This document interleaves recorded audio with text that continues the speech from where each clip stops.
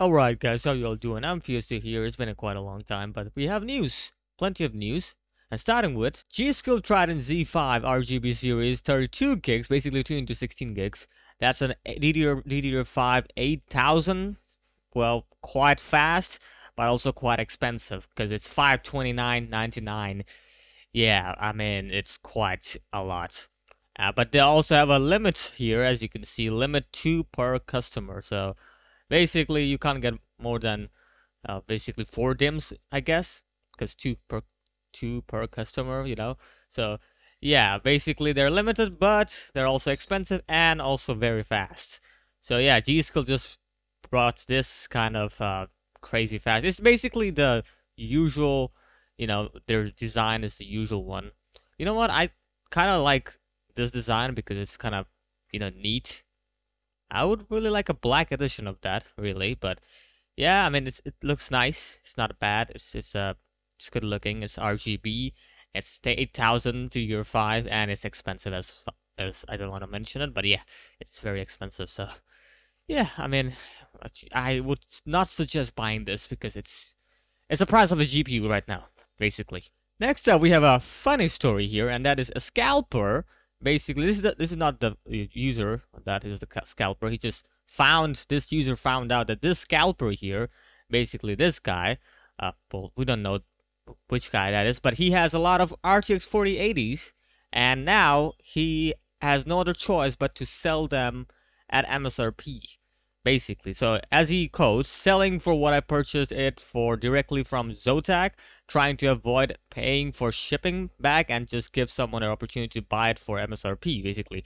Unopened, receipt in hand, and included top and RTX 4080. I just gonna keep this one. So basically, the scalper, this scalper particularly, is dumb, real dumb. Because my question is, why are you scalping RTX 4080 or even any of RTX cards? Because nobody's gonna buy them from scalpers because the stock is not dead, they're active. So what was he thinking? I have no idea, but he has paid the price, basically. Because, as you can see, he has no other choice but to sell them at MSRP, literally no profit, rather a loss, basically, because he also paid the shipping price, you know? So yeah, he deserved it, I guess. But yeah, I mean, even if you're selling at an MSRP, RTX 4080 is not a good price in MSRP anyway. Because we already know RTX 4090 is very appealing, 30% faster, and also a little bit expensive, like $1,600. You, you pay $400 more, you get the top end. If you don't want to pay that much money, well, you can just wait for the 4070, I guess. You know what I mean? So, yeah, it's just a waste of money. In general. And next up we have a Steam hardware and software survey in November 2022 and if you look into it, NVIDIA GeForce uh, GTX 1650 is now the popular card among all. Basically it beat the 1060 and now 1650 is coming at I mean it's not surprising because you know 1650 in this generation probably is the budget friendly one, the most budget friendly. We also got 2060 trailing behind, but still will take some time to defeat 1060. And we also got 3060 coming real quick because, you know, it's been like two years. So, yeah, I mean, they're coming up. They're, they're gonna catch up probably. The 3060s in general will gonna catch up, I believe.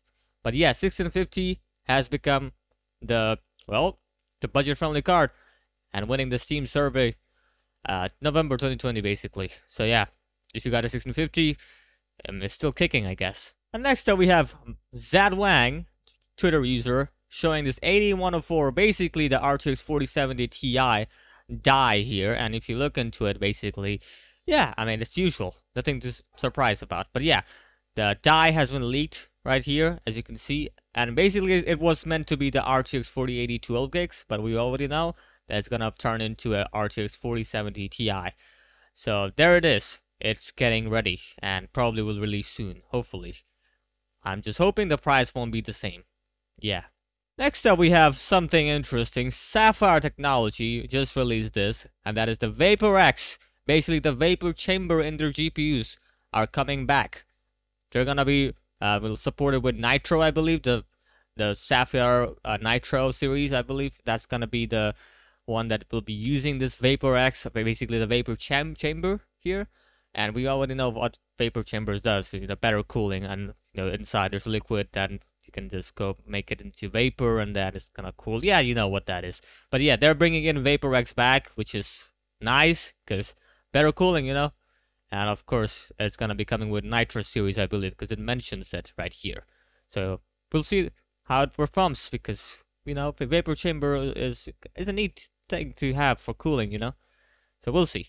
Next up, we have Nvidia confirming DLSS 3 and DLSS 2 games for December. And if you look into it, we have DLSS 3 here, and that is Need for Speed Unbound. Out now for DLSS 3. You can just play the game and use DLSS 3, I guess, and benefit from it, surely. Warhammer 40,000 Darktide got the DLSS 3 and ray tracing at the same time, and it's available right now. Portal, probably the most interesting one here. Portal RTX got DLSS 3 support, and of course, full ray tracing support. It was a, you know, they were like, you know, testing with it, with the ray tracing, and now they're like, okay, we're good. Let's bring in DLSS 3 and full ray tracing. So we're gonna have that. Jurassic World Evolution coming with DLSS 3 on December 8, and Witcher 3 Wild Hunt, very old game I have to say, but got ray tracing and DLSS 3 will be coming at December 14. So this is also very interesting that The Witcher 3 is getting ray tracing. I wonder how good that game will look with ray tracing. I wonder. I want to play that game right now. I mean, I have to wait for December 14, but I'm really hyped for ray tracing for Witcher 3 because that game is already beautiful. And now with ray tracing, I wonder how it will look. We also got DLSS 2 updates, Firefighting Simulator, well, coming at DLSS 2. Marvel's Midnight Suns, coming with ray tracing and DLSS 2 on December 2nd. Choo Choo Charles, isn't that the horror game? I believe that's the horror game, Choo Choo Charles. I don't know, I could be wrong. But anyway, DLSS 2 coming out December 19 and Blacktail launching 15th with DLSS 2. So yeah, there it is. DLSS 3 and DLSS 2 update for multiple games here for December. Wait, they didn't add that game. Uh, what was that? Yeah, Callisto Protocol. They haven't added that yet. Interesting. Because that game is very visually good looking and it's already out, I believe.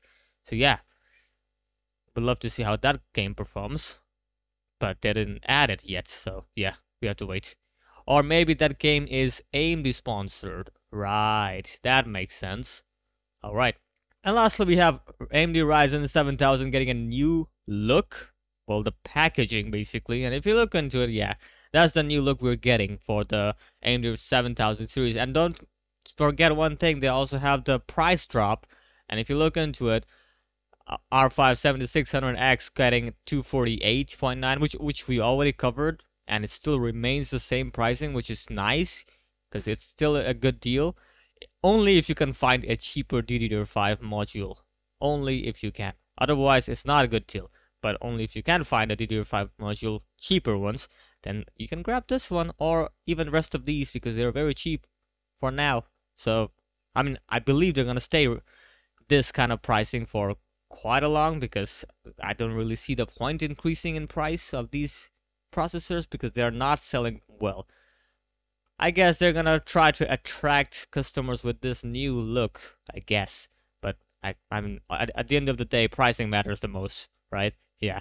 So yeah, if you wanna grab one, you should grab one. But remember, DDR5 module, you need to grab them as cheap as possible because otherwise your budget will go crazy high. remember that. Alright, that is it for today. Hopefully you enjoyed. What do you think about the pricing for the AMD Ryzen 7000? Do you think it's appealing? And what do you think about the RTX 4080 price? Do you think that price should drop? I mean, we all do, hopefully, but will they? Because knowing Nvidia, they're always playing the monopoly, don't they? I mean, I guess it's the high time they have to drop the price. Really.